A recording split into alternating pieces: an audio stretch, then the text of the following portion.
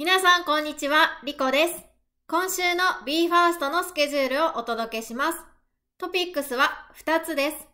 1つ目が BE:FIRST のスケジュール5月27日から6月2日分。2つ目が BE:FIRST のライブイベント情報のまとめです。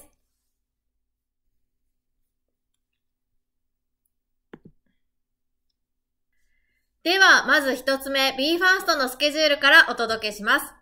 本日5月27日月曜日、ついに NHK の朝の連続テレビ小説、虎に翼に宮山良樹さんが本日初出演されましたね。おめでとうございます。先週から見ながら涙をする場面もたくさんあったんですけれども、そんな中で今日は良樹が初出演ということで、また違う意味でも本当に涙が出てきました。ついに宮山良樹さんが朝ドラに初出演ということで本当に感動しましたね。しかもドラマの展開的に時代背景上辛いことや悲しいことが続いている中で、この宮山良樹さん演じる直明が希望の光になっているような感じがして、今後の猪爪家の皆さんの心の支えになっていくんではないかなと、とても素敵な役柄だなというふうに思っています。そんな虎に翼に関しまして、放送スケジュールを改めてここでご紹介させていただきたいと思います。まず、毎週月曜日から金曜日まで1話ずつ放送されていまして、NHKBS プレミアム 4K と NHKBS が午前7時30分から、地上波の NHK 総合で午前8時からと12時45分からの2回にわたって放送されています。そしてこちらは NHK プラスでも1週間見逃し配信でご覧いただくことができます。そして土曜日のところで改めてご紹介しますけれども、土曜日には地上波で1週間のダイジェスト放送が放送されていたり、それから NHKBS プレミアム 4K と BS では、その1週間で放送された5話分が一挙放送されていたりということがあります。そちらはまた土曜日のスケジュールの中でご紹介します。はい、ということで今後の虎に翼の展開、楽しみにしていきたいと思います。そして今日はもう一つとても楽しみなことがありますね。19時から日本テレビにて放送されますザ・ダンスデイ。こちらのハーフタイムショーとしてザ・ダンスデイとダンクのコラボ企画が放送されるということです。こちら先日ご紹介させていただきましたが、BE:FIRST からはソータが出演するということでとっても楽しみですね。こちらのコラボ企画は、なんと5曲も披露されるということなんですけれども、その中で、ソータが出演するのは、リエハタさんと2人でパフォーマンスをするバックオンザステージ、それから、ダンクに出演するということです。この企画には、スカイハイさんやセイトくんも出演しますし、そして先日、M ステでもソータとの仲の良さを披露してくれていた高橋海人さん、それからエンティームの K 君など、たくさんの方が出演されますので、どんなステージになるのか本当に楽しみですね。はい。そして23時59分でチケット締め切りとなりますのが、バズリズムライブ10周年アニバーサリー。こちらのオフィシャル選考が締め切りとなります。5月28日火曜日、虎に翼第42話が放送されます。基本的にいつ良気が出演するかということは、その時の放送を見てみないとわかりませんけれども、明日28日火曜日に関しましては、あらすじに直明の名前がありましたので、明日も出演すると思われます。そして7時59分まで TVer にて配信終了となりますのが、先週5月21日にレオが出演しましたラビット、こちらの配信が終了となります。そして、午前8時15分から NHK 総合にて朝一に宮山良樹さんがゲスト出演します。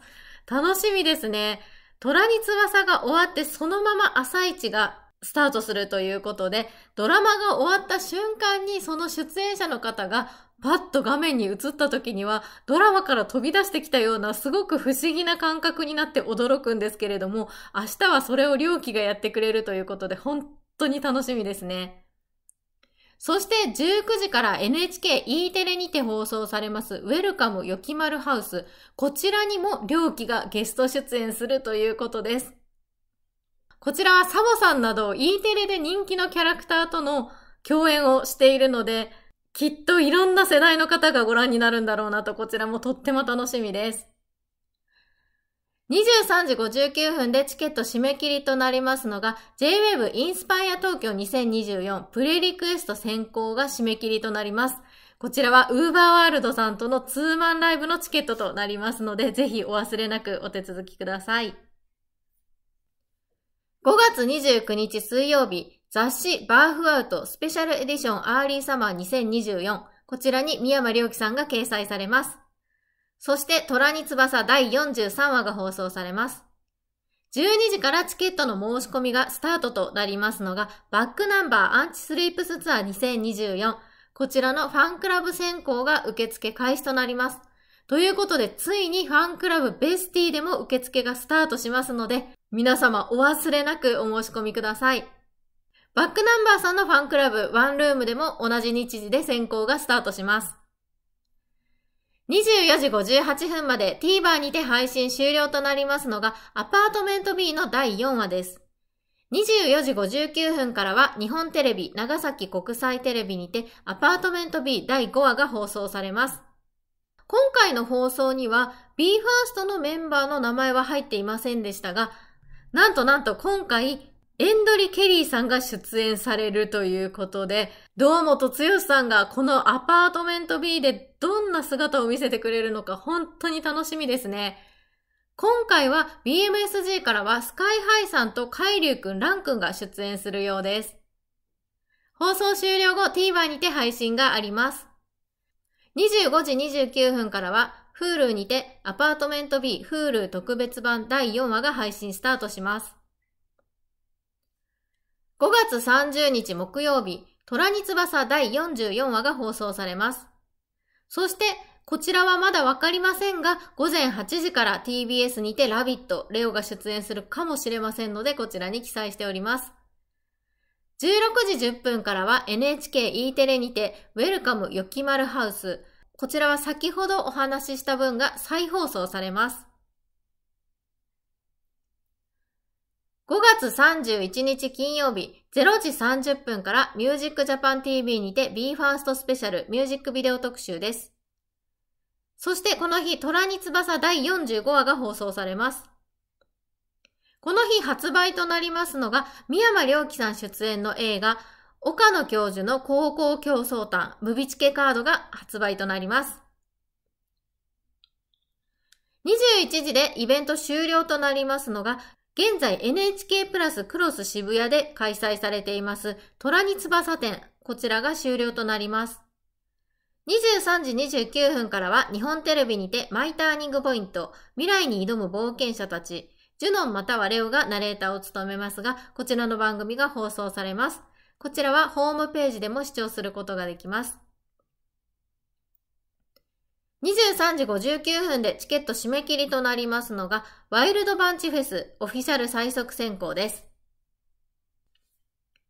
6月1日土曜日、午前2時53分から TBS にて With ベイスターズ2024テーマソングとして共闘が起用されています。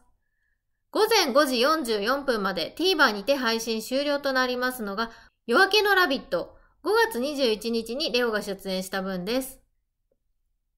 そして、冒頭の虎に翼の部分で少しお話ししましたけれども、毎週土曜日の午前8時からと12時45分から NHK 総合にて虎に翼ダイジェスト版が放送されています。15分間のダイジェスト放送となっております。今週は第9週が放送されます。そして NHKBS では午前8時15分から、NHKBS プレミアム 4K では午前10時15分から、虎に翼の今週放送された5話分が一挙放送されます。BS では8時15分から9時30分まで、BS プレミアム 4K では10時15分から11時30分までです。17時からは J-WAVE にて Amazon Music MILLION BILLION。今週も SHUNTO と JUNON がナビゲーターです。18時からは Amazon Music にて Amazon Music MILLION BILLION ポッドキャスト。 SHUNTO と JUNON が出演です。18時30分からは Twitch にて Amazon Music MILLION BILLION。なんと今月の対談企画は、 UVERワールドの拓也さんとシュンとの対談企画ということで、本当に楽しみですね。ついにこの時がやってきたかという感じがします。これはおそらくインスパイア東京に向けていろんなお話も聞くことができるんだろうなととっても楽しみにしています。6月2日日曜日のスケジュールは現時点では発表されておりません。はい、今週のスケジュールは以上です。続きまして BE:FIRST 出演予定ライブイベントの情報まとめをお届けします。こちらも新しく出演が発表されたイベントやフェスなどは特にありませんが、チケット情報を更新しておりますのでご確認いただければと思います。サマソニに関しては、チケットが一般発売となりまして、残りが少なくなってきているようです。大阪公演については、通常チケットはまだ販売されておりますが、プラチナチケットが完売となっております。そして東京公演については、残りわずかという表示になっております。はい、以上です。ここから虎に翼で宮山良樹さんがどんな姿を見せてくれるのか、どのように成長していくのか、本当に楽しみでなりません。そして今日はザ・ダンスデーで、本当に豪華なメンバーでコラボレーションがありますので、こちらも本当に楽しみですね。はい、以上です。どうもありがとうございました。リコでした。